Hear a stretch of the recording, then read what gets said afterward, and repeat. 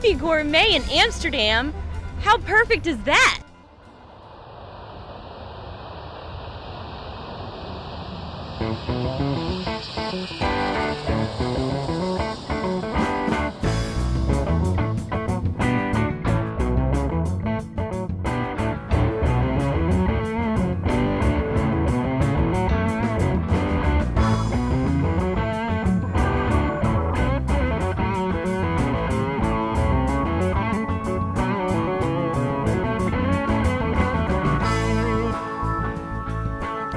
Welcome to Amsterdam.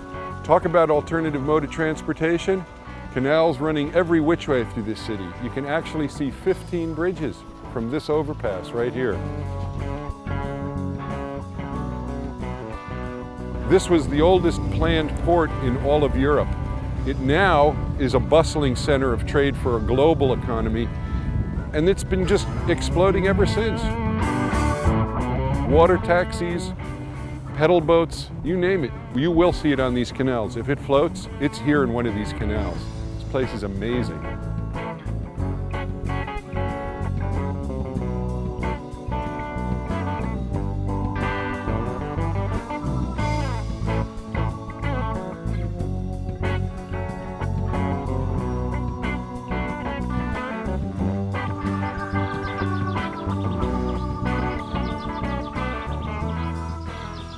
When in Amsterdam, De Kas is the place to eat.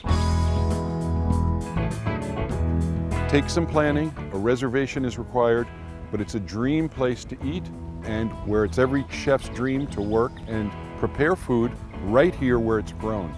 Next to the restaurant, you can actually go out and visit the greenhouse and see the vegetables growing.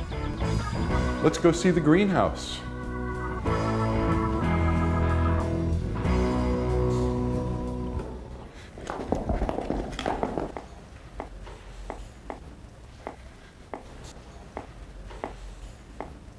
Into the garden. Proper foot attire is always needed. Keeps the feet clean and they float.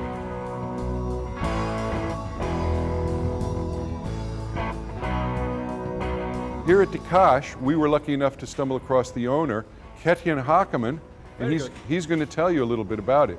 Easier to pronounce, names would be better, but uh, it's a very, very classy, fantastic experience when you can eat and witness the vegetables growing right outside. Welcome. You're in the Kas in Amsterdam. My name is Gertjan Hageman. It's not easy for you. You can forget it. This is Restaurant de Kas. We grow all our own vegetables and herbs. We do it for an international audience. If you want to know the story, we're going to tell you it in short.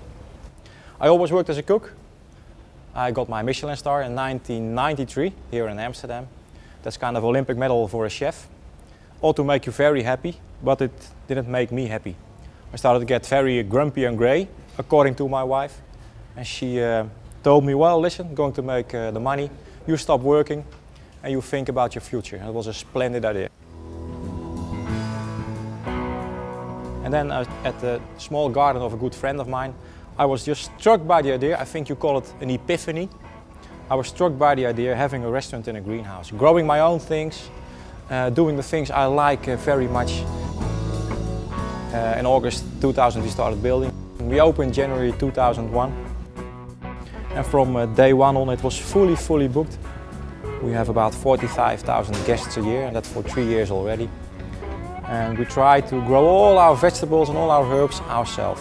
Together with a few farmers, we managed to make, uh, let's say from April until December all our vegetables and herbs ourselves. Our menu always consists of three small appetizers, a main course and a dessert. You get it all for a, a very reasonable price. We harvest every morning. I bring it to the chef. Chef starting to cook and next day he's starting all over again.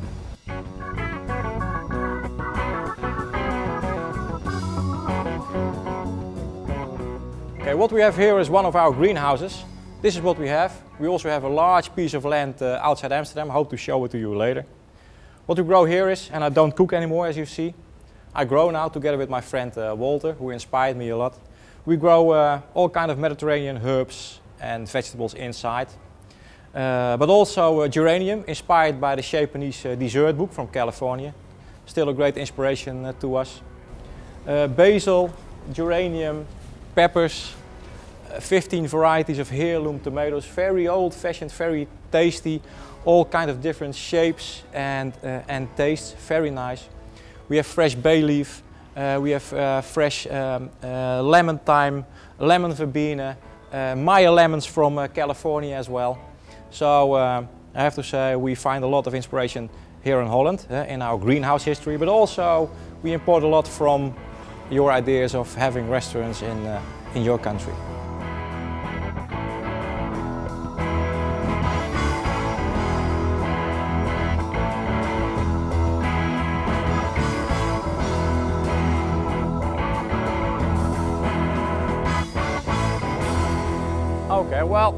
What you see here is our herb garden. We, use it, uh, but also the people who live around uh, the park uh, use it as well. They pick our strawberries, which we don't like, or uh, some, some fresh herbs. And uh, what, what a nice thing is that uh, when you visit the Kas for the first time, you think it's somewhere in the country, but it's in the middle of Amsterdam actually. Gives you a kind of uh, Central Park uh, feeling. I don't know why, but uh, something like that. We have a little potato, we have some sage, we have everything. We have our cooks uh, resting uh, from hard working uh, for lunch. Also funny is that we have a nice, if you look over there, we have a nice couple of storks with young baby storks. We have a lot of offices over here uh, all around. But it's, it's still as in you're in the middle of, a, of the country and that's what I like uh, very much uh, uh, from the Kas.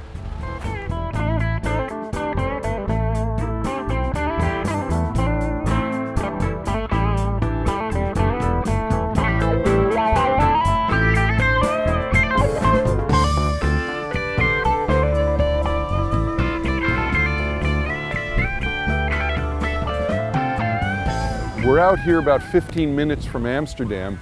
We're going to visit with Walter. He's part of the production team for the fresh vegetables that Restaurant and Kwekerij De Kas serves. Sweet berries to succulent vegetables. What a place of gorgeous beauty and lush farmland. Let's go see.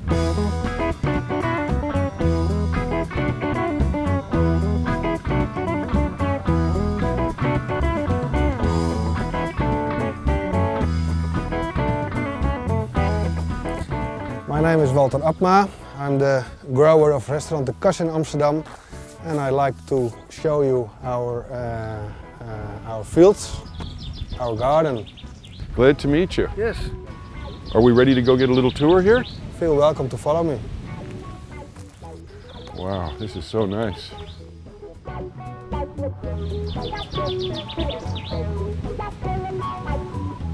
The garden is a little north of Amsterdam, 15 minutes, and we try to grow as much as possible our own vegetables, herbs, fruits.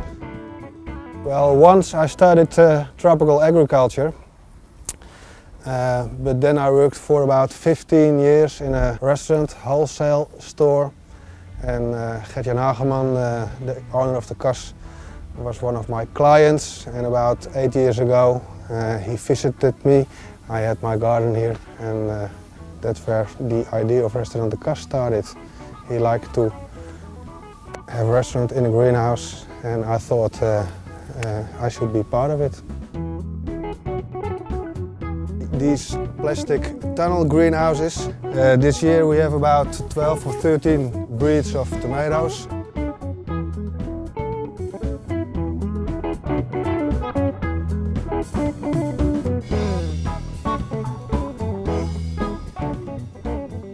Call it cardoon.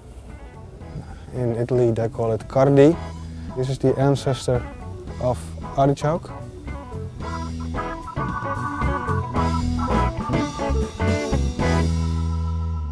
This is a special breed of strawberries. It's from France. It's called Mara des Bois. And they have uh, a little bit the taste uh, of uh, wild strawberries. This is uh, from Italy, um, Radicchio Rosso di Treviso. Uh, this is for in wintertime. It's like uh, a little bit like, uh, like chicory, but dark red. Here we have growing red beetroot. And this is uh, a pak choi uh, variety. Uh, I think you call it bok choy.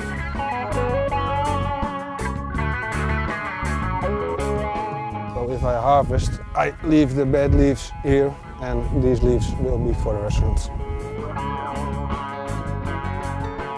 There are some leeks, young fennel. It can be harvested, I think, uh, well, about 10 days. We like it young. Purple flowers means also purple pods, and it's a typical Dutch variety. We call it blauw schokker. Wow, this is a purple potted pea, and this one's a little bit ripe, right? This, is, uh, this one is alright. Big one. Let's see. Wow, look at that. You got bright green peas in a purple pod. Here we grow a little zucchini.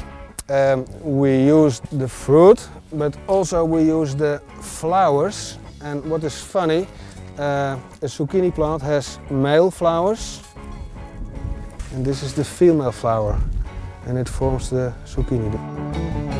This is our um, compost pile, and it's uh, leftover plants, which we can use next year in the greenhouses.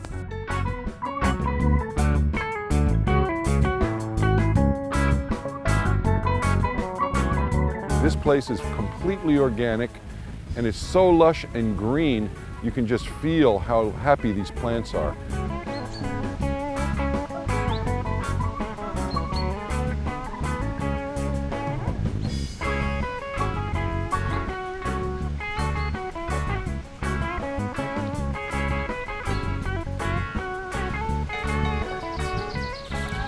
For us, freshness of vegetables is the most important thing. Um, at night, uh, the chef calls me what he likes me to harvest the next morning. What I harvest the next morning will be eaten the same day. Okay, bye bye. I thank you for your visit. Hopefully you come next uh, year again. Bye bye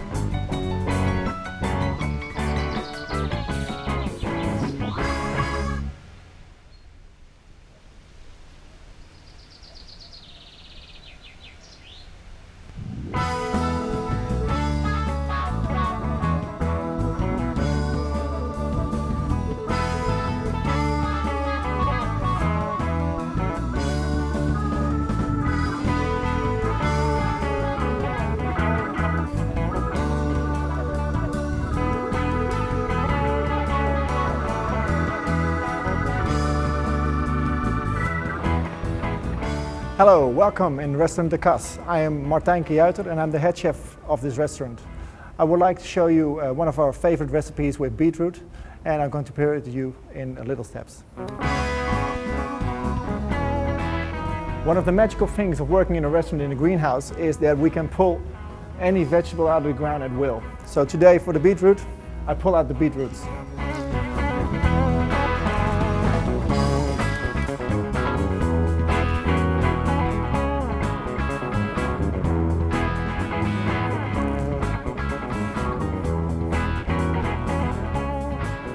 We take the beets. Uh, we're just gonna uh, remove most of the, the mud and then we're gonna cook it in their own skin.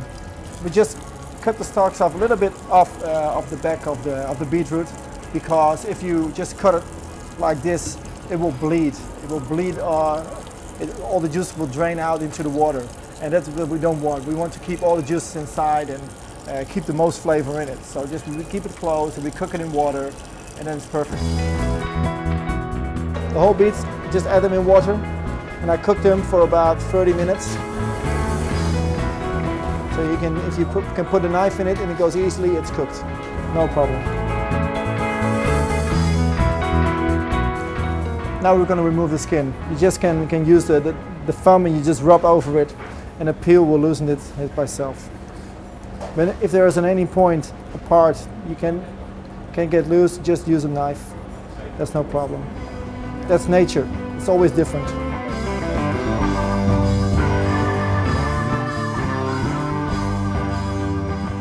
These are very fresh beets, just like that.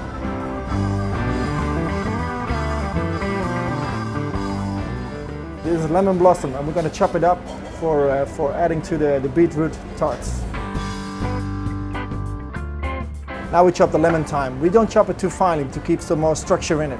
It gives uh, a lot of flavor and intensity of flavor is more when you keep more structure in it. If you cut it too fine, it will loosen his flavor too, too soon because it, uh, the little tarts will go into the oven for about 20 minutes. So in 20 minutes time, it will cook and it will release its flour with some olive oil. We sprinkle some of the lemon thyme on it, some coarse sea salt, and some black pepper.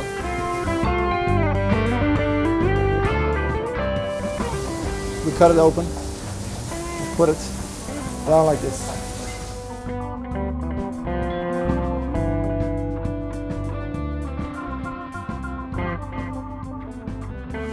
All right, for the, for the beetroot tart, we need beetroots, fresh beetroots of course, some lemon thyme, some olive oil, of course sea salt, some black pepper, some puff pastry. We make, we make it ourselves, but you can buy it in any shop, deep frozen and just, uh, just normal packaged. Uh, it's just pastry dough.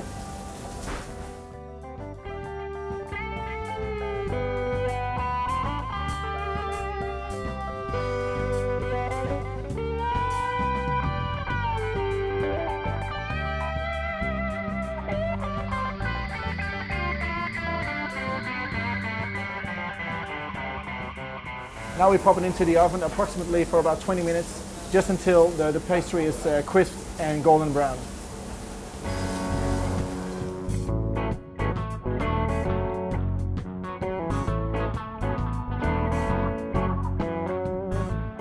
Here we have the, the garnish. It's a herb salad of, uh, of some herbs out of the greenhouse and some blossom. We have nasturtium, we have tong ho, and we have some sage blossom. We just pull it out of the garden, just keep it whole. You don't have to wash this because there's no sand in it.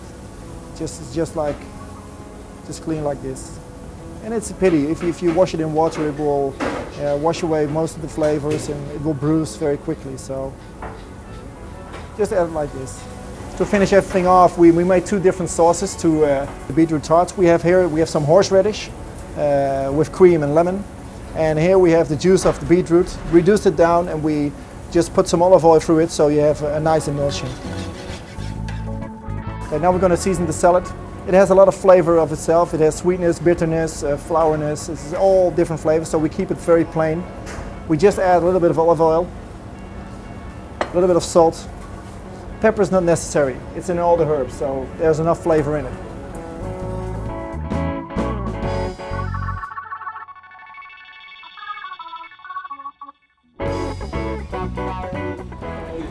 They're finished. You see, they're golden brown, they're crisp, they're just fine. To dress the plate, you just drizzle some, uh, some of the horseradish cream on the plate. With a bit of the beetroot oil. Then we add beetroot tots.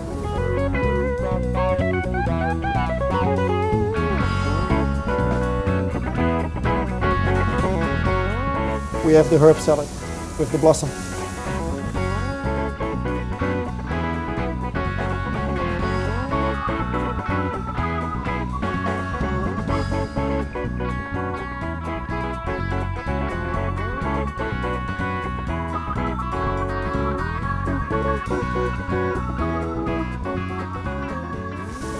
Eet smakelijk, like we say in Dutch.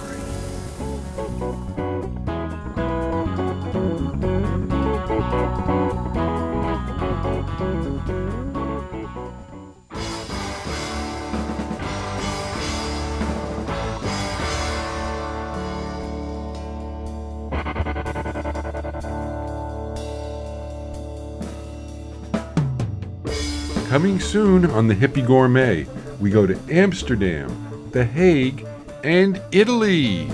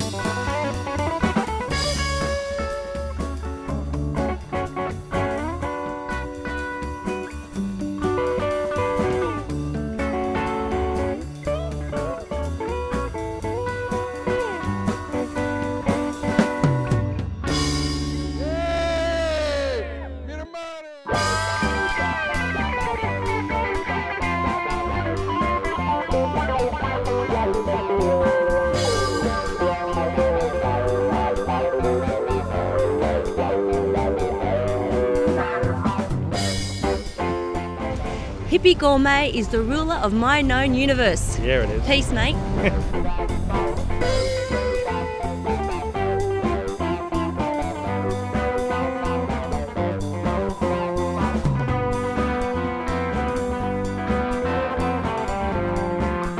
Visit us on the web at hippygourmet.com.